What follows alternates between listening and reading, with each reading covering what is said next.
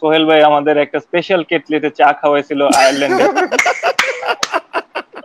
তো তারপর উনি উনি অন্য একটা অপশন দিছে সেটা এখানে বলার মতো না ওটা বলা যাবে না সোহেল ভাই স্পেশাল গোলাপি কালারের আন্ডারওয়্যারটা আচ্ছা মাসে ভাই মাসে ভাই সোহেল আমি বলিনি সোহেল ভাই হলো আমাদের যিনি মাসাজ করে আমাদের সাথে টিমের সব সময় ট্রাভেল করে।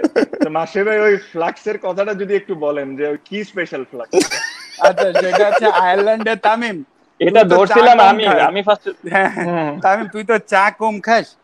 তা হ্যাঁ। রিয়াদ আর আমি সবসময় চা খাই। তো সোহেল ভাই ইফতারির পরে সবসময় আমাদের চা ডেফিনেটলি উনি বানায় আনবে।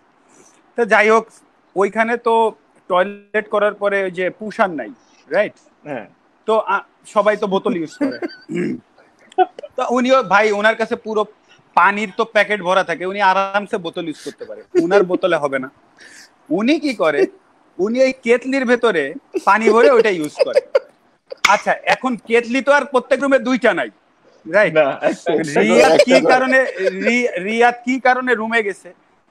যে দেখে কেতলিটা ইসের পরে রয়েছে বাথটবের পরে বসে আছে ঠিক আমি রুমে গেছি ওনার ওনার টয়লেটে ঢুকছে ঢুকে দেখি কেটলি আমি কি বললাম যে কি বাবা কেতলি এই জায়গায় কেন?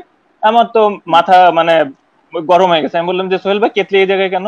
তো বলতেছে আরে না ভাই কিচ্ছু না কিচ্ছু না এটা কিচ্ছু না। আমি বললাম যে আমি তাহলে কি আপনি আমাদের মাসে বাইরে কি এই কেটলিতে চা খাওয়ান? তো আরে না না না না উনি স্বীকার করবে না। আমি বললাম যে না সব আপনি তাহলে চা কোন রুমের কেটলির থেকে আপনি বানায় নিয়ে আসেন? তারপরে মাসের বাইরে গিয়ে আমি বলছি আর তো ভাই ভাই প্রতিনিয়ত দুইটা দুইটা সপ্তাহ সে ওইটা ইউজ করছে টয়লেট করে এবং আমাদের ওইটার ভেতরে চা বানায় সে খাওয়াই গেছে।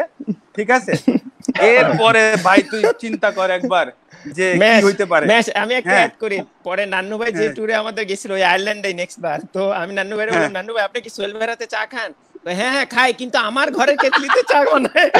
না, ও তাই? এটা বলছি আবার।